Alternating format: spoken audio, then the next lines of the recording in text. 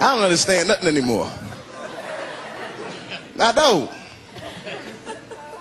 I watched TV the other day. Now tell me, maybe it's just me. Maybe I'm crazy. Is it me?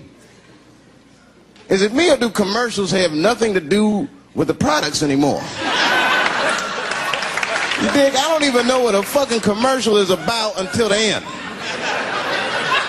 Everyone's a surprise nowadays. You seen that commercial where the lady got the black eye?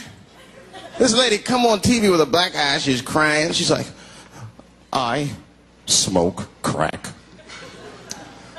And my husband beats me. And then a voice came on and said, Got milk? I said? That has nothing to do with milk.